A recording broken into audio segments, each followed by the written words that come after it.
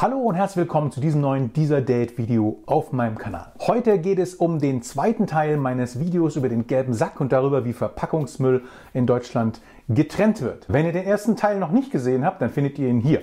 Unter anderem hat mir darin Lilly Fuhr von der Heinrich-Böll-Stiftung erklärt, warum Plastik eigentlich so schlimm ist. Plastik ist ein total problematisches Material an und für sich, weil es zum einen aus einem problematischen Rohstoff hergestellt wird. Also 99 Prozent von allem Plastik äh, wird aus Erdöl und Erdgas hergestellt. Das ist klima- und umweltschädlich und auch gesundheitsschädlich. Mhm. Und Plastik ist ein Material, was ja wahnsinnig haltbar ist. Das heißt, was, das, was wir einmal produziert haben, bleibt für immer, für Jahrhunderte oder länger in der Umwelt. Sie hat den sogenannten Plastikatlas mitverfasst und daraus wurde in der Tagesschau zitiert, dass nur 17 Prozent des Plastikmülls in Deutschland wirklich recycelt werden. Im ersten Teil habe ich ja meinen gelben Sack vor der Haustür abholen lassen und bin ihm bis zur Umladestation gefolgt. Heute geht es weiter nach Rheinfelden, wo die gelben Säcke hier in unserer Region verwertet und recycelt werden. Aber zunächst mal habe ich mir hier bei den Entsorgungsbetrieben Konstanz von der Leiterin Frau Hertig erklären lassen, was die rechtlichen Rahmenbedingungen für den gelben Sack in Deutschland sind. Die Kommune hat mit dem gelben Sack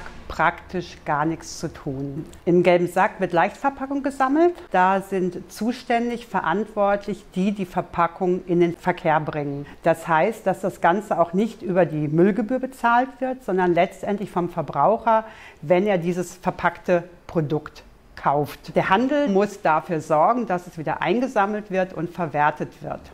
Und da das nicht jeder kleine Laden einzeln machen kann, lässt man diese Verpackung lizenzieren durch die sogenannten dualen Systeme.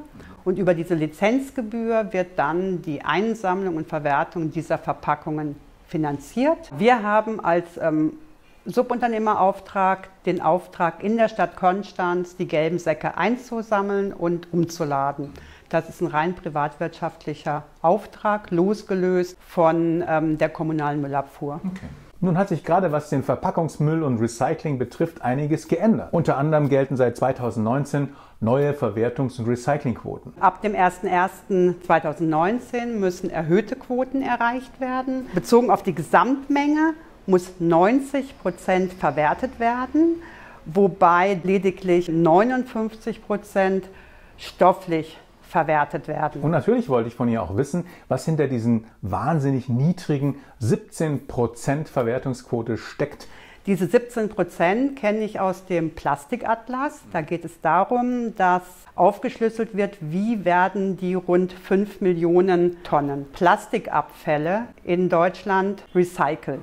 Und nicht alles, was in Plastik anfällt in Deutschland beim Endverbraucher, ist Verpackung aus dem gelben Sack. Etwa nur zwei Drittel sind Verpackung. Als es darum ging, dass nur 17 Prozent stofflich ähm, verwertet sind, da hat man rausgezogen den Prozentsatz, der im Ausland verwertet wird. Es gibt allerdings ähm, Veröffentlichungen darüber, dass das, was die dualen Systeme vom gelben Sack exportiert haben, sehr gering war. Also dass der größte Teil von exportierten Kunststoff aus anderen Bereichen kam, aus der Landwirtschaft, aus Gewerbe und so weiter. Naja, und weil Frau Hertig natürlich auch den wirtschaftlichen Teil der Abfallverwertung kennt, habe ich sie noch gefragt, ob sich dieser ganze Aufwand eigentlich überhaupt lohnt. Wenn man über den Aufwand spricht, geht es ja zum einen mal darum, wirklich möglichst viel stofflich wiederzuverwerten, weil wir endliche Ressourcen haben. Das ist das eine.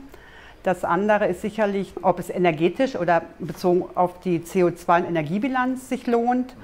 Das, ähm, denke ich mir, ist gerade bei Kunststoff unumstritten. Was man ganz klar sagen muss, die Primärrohstoffe sind viel zu billig. Das heißt, kostenmäßig ist es häufig günstiger, einen neuen Stoff zu nehmen, als auf ein recyceltes Produkt zurückzugreifen. Und da denke ich, können nur entsprechende Vorgaben über Einsatz von Recyclingquoten da auch politisch gegensteuern. Danach war ich wirklich gespannt, wo mein gelber Sack eigentlich landet und deswegen bin ich nach Rheinfelden gefahren zu Vogt Plastik. Dort habe ich Michael Dietl getroffen, er ist Leiter für Abfallwirtschaft und Rohstoffbeschaffung und er hat mir genau gezeigt, was dort mit meinem gelben Sack geschieht, sofern es sich natürlich nicht um Betriebsgeheimnisse handelt. Plastikvogt ist nicht eine normale gelbe Sackaufbereitungsanlage. Was ist das Besondere bei Ihnen? Das Besondere ist bei uns, dass wir in einem gemeinsamen Verfahren nicht nur sortieren, wie es üblicherweise gemacht wird, sondern wir machen in einem integrierten Verfahren hinter der Sortierung direkt ein Recycling. Wie läuft das Verfahren bei Ihnen ab? Maßgeblich bei uns ist einfach, dass wir Stoffe, die wir bekommen, erstmal zerkleinern. Der Vorteil ist, dass wir dadurch halt bei Kunststoffprodukten, aber auch bei Getränkekartons, die aus Kunststoff und Papier bestehen, die Sortenreinheit herbeiführen. Anders als herkömmlich liegen bei uns diese Stoffe dann schon mal von der Grundsubstanz als getrennte Materialien vor. Bei uns fallen ebenso zu den Kunststoffprodukten auch Weißblechfraktionen an, Aluminium.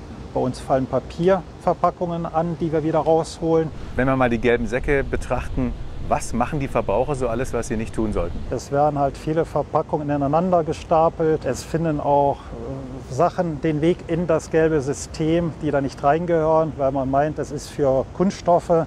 Dazu zählt der eine oder andere auch Gummi, Fahrradreifen, technische Kunststoffe aus dem Renovierungsbereich. Wir haben immer wieder Kabelkanäle, PVC-Böden, Schlauchboote. Diese Stoffe gehören einfach in den Sperrmüll, in den Restabfall. Was ist denn so das Schlimmste, was Ihnen in der Anlage passieren kann? Das Schlimmste, was passieren kann, sind halt Massivteile oder äh, mitgesammelte äh, Stoffe, die uns die Anlagentechnik blockieren. Wir haben Großvolumen mit Tannenbaumnetzen, die einfach nicht förderbandgängig sind und dann die Fördertechnik lahmlegen. Wie viel kommt bei Ihnen überhaupt rein im Jahr? Also pro Jahr verarbeiten wir ca. 80.000 Tonnen. Ungefähr ein Viertel des Landes Baden-Württemberg findet den Weg hier nach Rheinfelden zu uns. Davon gewinnen wir 60 Prozent wieder zurück für den Wertstoff-Wirtschaftskreislauf und 40 Prozent sind dann Stoffe, die nicht verwertbar waren, Restinhalte, Fehlwürfe, Hausmüllanteile, diese können nun energetisch genutzt werden. Gibt es tatsächlich Verpackungen, die eigentlich nicht wiederverwertbar sind? Ja, das gibt es leider. PET-Verpackung, Tiefzieh-PET, Schalen-PET aus dem Lebensmittelbereich. Für den Verbraucher ist es oft teilweise schwer erkennbar. Das PET-Flaschenrecycling in Deutschland ist hervorragend, das funktioniert. Es wird sortenrein gesammelt über das Pfandrücknahmesystem. Aber es gibt weitere viele PET-Verpackungsartikel, die beim gelben Sack gesammelt werden, die völlig unterschiedlicher Struktur sind, für die halt der Recyclingbereich noch Antworten sucht. Könnte man natürlich sagen, als Kunststoffverwerter müssten Sie daran interessiert sein, dass möglichst viel Plastik verbraucht wird. Das sehen wir als Vogtplastik anders. Wenn die Kunststoffe generell abnehmen würden, dann ist das in Ordnung. Dann ist das ein, ein Schritt in die richtige Richtung. Aber da es so nicht ist die nächsten Jahre und die Kunststoffmengen sich vermehren werden halt weltweit, ist es wichtig, dass diese Verfahren genutzt werden. Wir haben keine andere Wahl. Der Kunststoff ist da und er wird uns noch jahrelang begleiten. Wie ihr seht, habe ich mich ziemlich ausführlich mit der Sache beschäftigt, habe vier Interviews geführt und will euch nochmal zusammenfassen, was ich daraus gelernt habe und mitgenommen habe. Erstens, bei den 17 Prozent muss man unterscheiden zwischen der Verwertungsquote von Plastikmüll in Deutschland und der Verwertungsquote von in Deutschland durch das duale System eingesammelten Verpackungsmüll. Zweitens, alle waren sich einig, dass Vermeiden besser ist als Trennen ganz klar das alleroberste Abfall vermeiden. Schlimm ist eben auch zum Beispiel Einweggeschirr für ähm, Feste. Da wird jetzt viel angeboten aus Bambus und aus Holz und so weiter, aber ebenfalls als Einwegprodukt.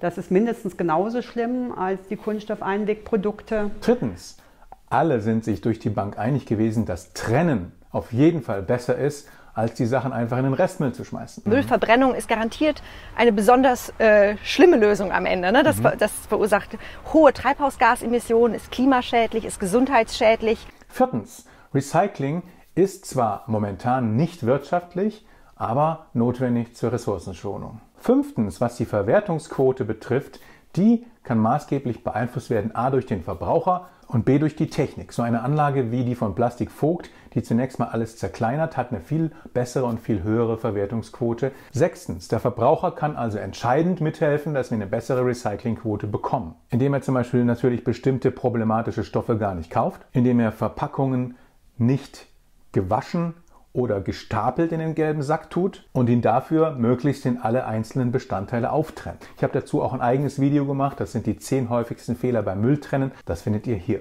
Naja, und die Industrie sollte auch noch ihren Beitrag leisten, denn die sollte zunächst mal daran gehindert werden, überhaupt Verpackungen in Umlauf zu bringen, ähm, die nicht wirklich recycelt werden können. Es macht wenig Sinn, wenn die sich durch eine Lizenzgebühr aus dem gelben Sack sozusagen freikaufen können, aber dann Verpackungen machen, die man eigentlich gar nicht wieder verwerten kann. An dieser Stelle ist aus meiner Sicht die Politik gefragt mit entsprechenden Rahmenbedingungen. Und auch wenn es darum geht, dass die recycelten Rohstoffe häufig teurer sind als die originalen. Was mir gar nicht so bewusst war, ist, dass wir zwar bei vielen anderen Stoffen irgendwie ein hohes Bewusstsein dafür haben, dass sie recycelt werden können, aber bei Kunststoff nicht. Und das hat Michael Dietl in seinem Appell an euch, an die Zuschauer, nochmal ganz deutlich ausgedrückt. Die Hoffnung, die ich habe, ist einfach, dass es gelingt, den Kunststoff in ein Bewusstsein zu bringen, wie es heute schon üblich ist für Altglas, Altpapier, für Altmetalle. Keiner käme auf die Idee, diese wertvollen Rohstoffe wegzuwerfen. Der Kunststoff taucht überall wieder auf, wo er nicht hingehört, weil es im Bewusstsein mangelt an der Bedeutung. Er muss gesammelt und er muss einer Verwertung zugeführt werden. Ja, in diesem Sinne hoffe ich, euch hat dieses Video gefallen. Ihr habt ein bisschen Informationen oder Interesse an dem Thema dadurch bekommen können. Wenn ja, lasst mir unbedingt ein Like da, abonniert meinen Kanal und kommentiert unten gerne fleißig, was ihr von der Sache haltet oder was ich für weitere Themen auf diesem Kanal für euch darstellen soll. Ich freue mich, wenn ihr auch nächstes Mal wieder dabei seid und bleibe bis dahin euer Diesel Date.